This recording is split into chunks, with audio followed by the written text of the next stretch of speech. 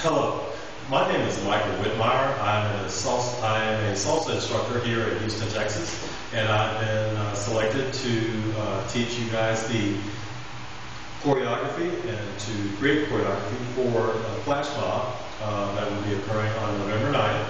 Uh, I'm basically going to operate on the assumption that for the most part, when this video is being watched uh, by the participants, that most of you were actually in attendance at the first practice on October 23rd, or that you will have already seen the video and you're mainly coming to watch the video just to give you a chance to walk through the steps again uh, that uh, I've already put on to uh, a written description on a uh, piece of paper for you uh, and that you should have received by email as well.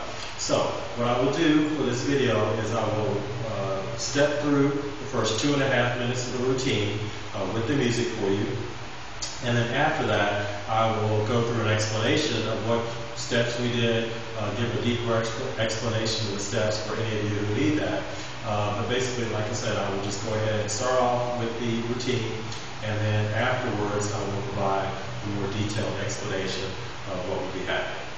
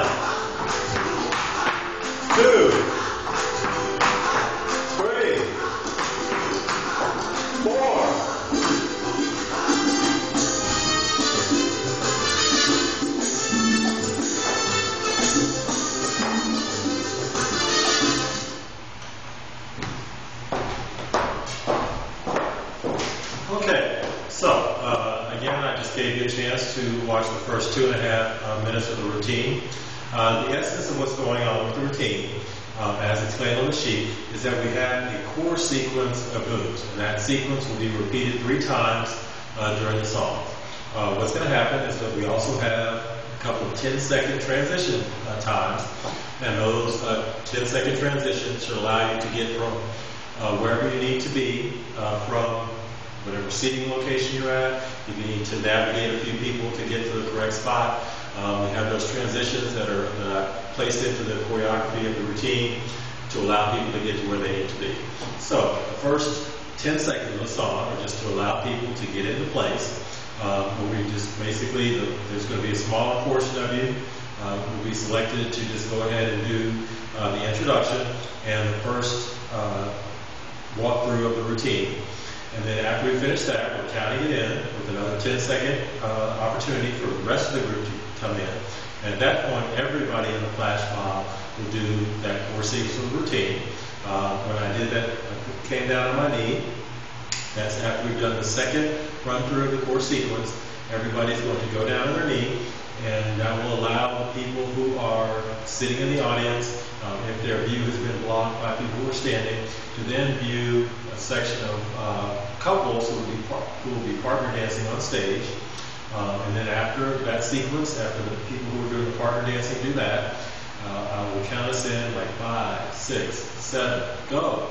And while I'm saying the five, six, seven, I want you rising off your knee and getting ready to do the final uh, sequence. Uh, that same core sequence We'll run through it one last time, and then I'll finish the song, and we all do a hey at the end of that. So, uh, to break down exactly what the steps we're going to be doing, um, again, this is based on salsa music. Uh, the song that we're using is Micaela by a group called Sonora out of Colombia. Um, the sheet that I gave you with, a, with the written description of the routine has the name of the song and the name of the salsa group on there. If for whatever reason you don't have that sheet of paper, uh, the video uh, description should also list the name of the song and the name of the uh, musical group so that you can purchase the song off of iTunes or Amazon or wherever you like to purchase uh, uh, MP3s. Uh, and then you can download a copy of the music, uh, purchase it, and listen to it as much as you like. And so, so you get a feel for the rhythm, use, uh, get yourself used to stepping through the beats, stepping through your steps to the beat of the music. Um, salsa music, the way the salsa dance is, uh, is we step on six steps out of each eight beat sequence. And so the, mu- the dancer's measure is based on a set, a rotating cycle of eight beats that's going to repeat itself over and over through the music. And so if we think about the music in those eight beats, the dancers are going to be stepping on the first three beats, taking a pause or slowing down on the fourth beat, stepping on the next three, taking another pause, and then starting over again. The typical sequence, how we counting that, how we instruct that, is thinking about it as an eight beat cycle, and then I'm going to count one, two, three. Those are the first three steps we're taking. I'll be silent on the fourth beat, then I'll say five, six, seven.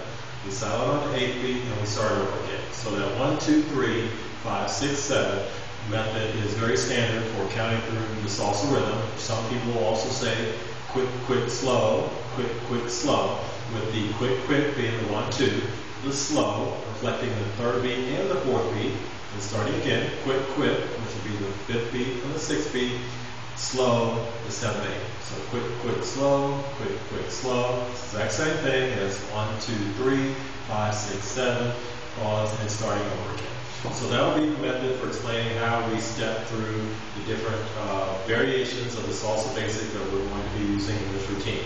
The only variation that we're going to do on that is with a hip roll, um, and I'm going to we're going to move on the down beats, so every other beat, uh, and I'll explain that in a little more deal, detail when we get there. But again, most of these first few moves that I'm going to demonstrate for you are based on one, two, three, five, six, seven concept. Uh, the first step I'm going to do is just a regular salsa basic. And that is all that is, is we're going to always be starting with our left foot coming forward, except for the, the last exception I'll explain later. But all the dancers in this routine, we're going to start with our left foot going forward on the first beat. And so what it will, it will look like is one, two, three, five, six, seven. I'll do that to the side. So we're always going to be returning to our center Starting with the left foot going forward, nice comfortable size, my weight evenly distributed between my feet. My right foot is going to come up and down in, place.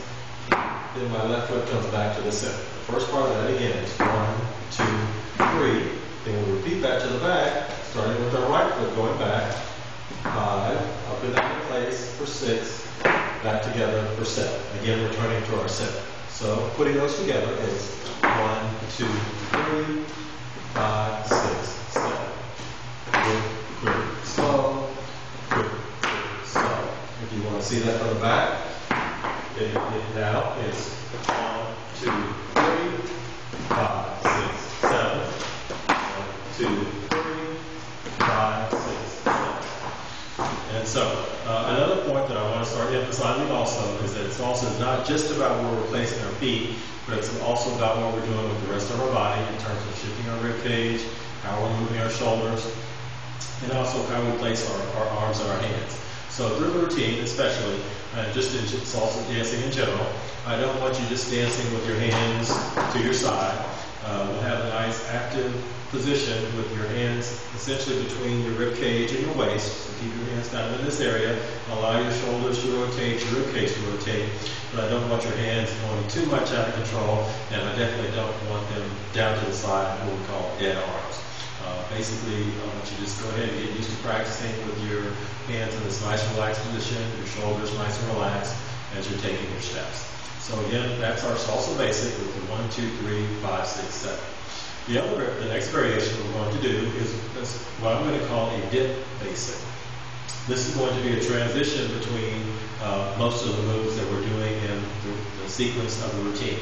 And all that is, is on the front half of the basic, we're just going to lunge forward and then come back to our regular height, but still step it through. So what the, the dip basic will look like is one, two, three, five, six, seven. I'll do that to the side. I'll do a regular basic, and then I'll demonstrate the dip basic so you see the difference. It will be one, two, three, five, six, seven. One, two, three, five, six, seven. And now I'll do that to the back. Regular basic, and then the dip basic. One, two, three, five, six, seven. One, two, three, five, seven. So all we're doing is essentially changing levels, but I just wanted to create a little bit of different energy, a little different look from the regular salsa basics. When we say dip basic, that's what I'm talking about, and that's going to be a transitional movement between most of the different steps that we're doing in the routine. Another variation of the salsa basic that we'll be using is a side-to-side basic. It will again be on that same quick, quick, slow rhythm, except we'll be stepping to the side. What that will look like is one, two, three, five, six, seven.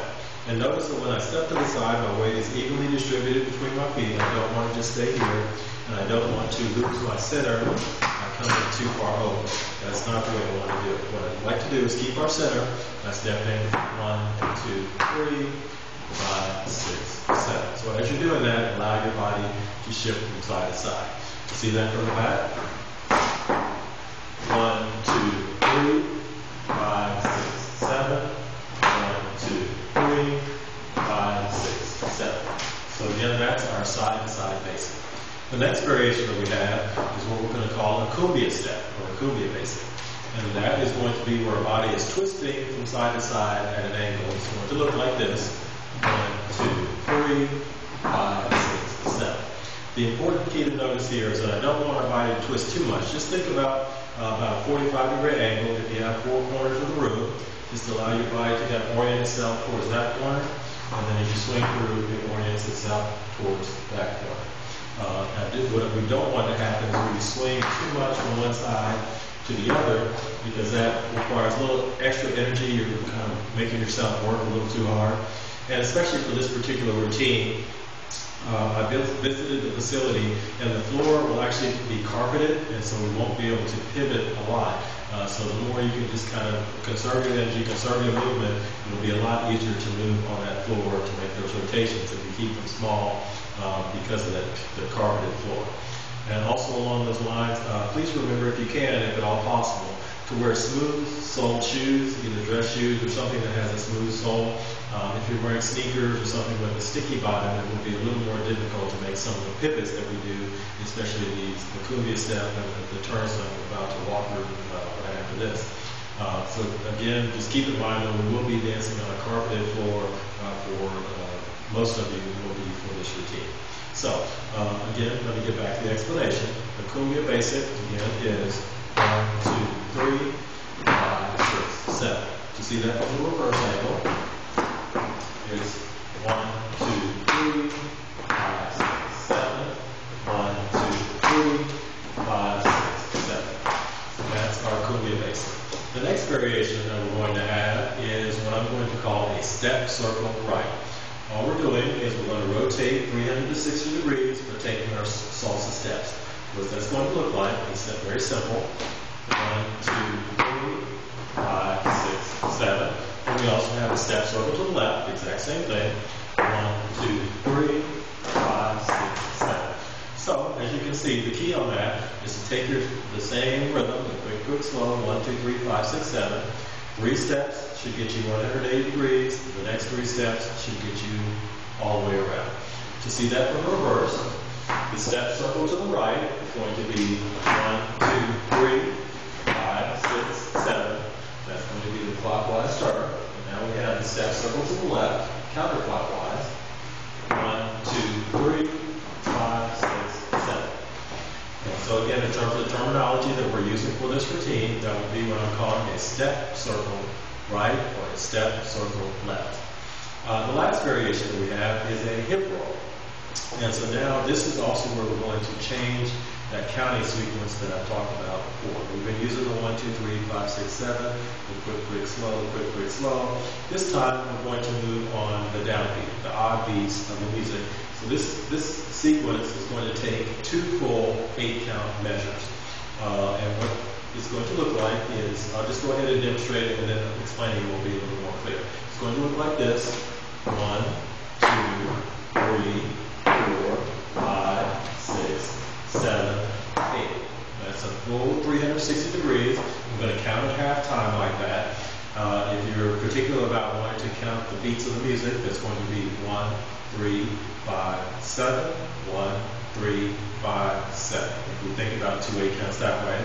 But the easiest way to probably think about uh, making sure we're on time and together, coordinated with that sequence, is just to count to eight, half time, and that will get us around. And it's the same thing to the left side. So we're going to have a hip roll to the right, a hip roll to the left. The mechanics of how I want that to work is I, I want our hips to actually make a full circle rotation with each step. So we're kind of, you see it from the side, I want to kind of set my backside to the back and allow that to lift my foot, a little small circle, circle, circle. So each time I'm circling around, I'm allowing my hip to lift my foot and then taking that step. And the other foot remains pivoted in a spot because that's going to be uh, center where we're going around. Same thing if we're going to our left or counterclockwise. My left foot becomes my pivot foot and I follow that same pattern of allowing my hip to guide that movement.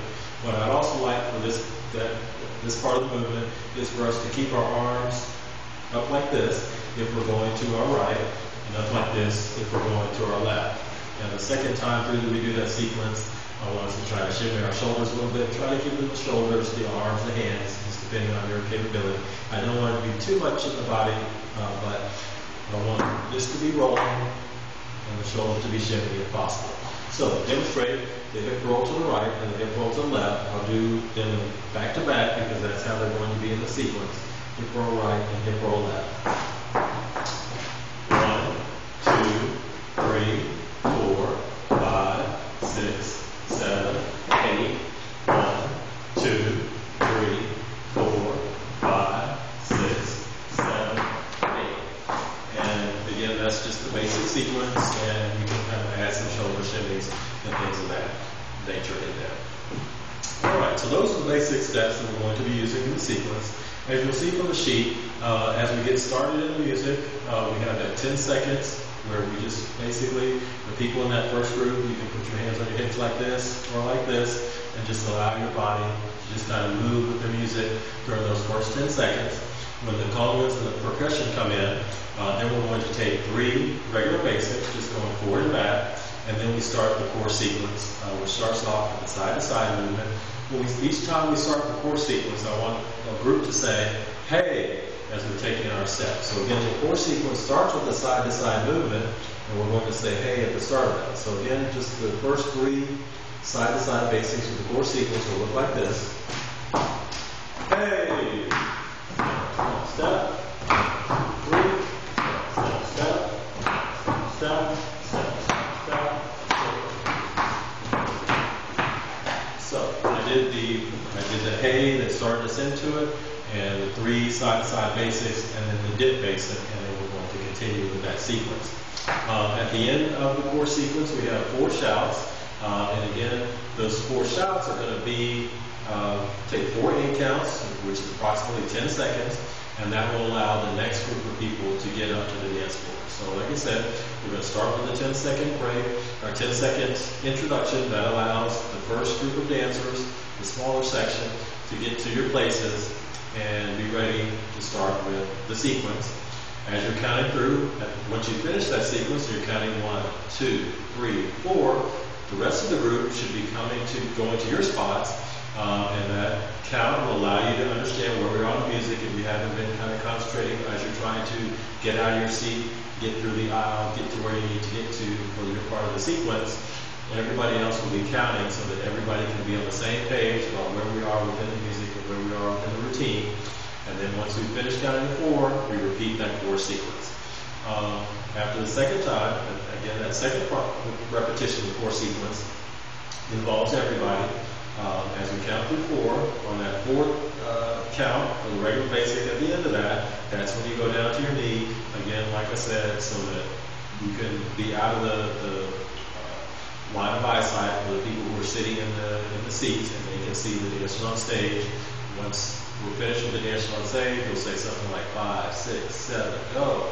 During that time, you should be raising up from your seats, ready to do the final sequence. Um, once we go through the, the repetition, that'll be the third time we do the core sequence. That'll get us to the end of the song. We will not need to count through four basics at the very end. Once we just get through that last set of hip rolls, I just want everybody to say, hey, we're happy the routine is over, and then we're going back to our seats. So, it should be very fun. I want you to really enjoy it. Uh, again, the more you listen to the music, the more you get comfortable with the rhythm, the easier it will be to take those steps.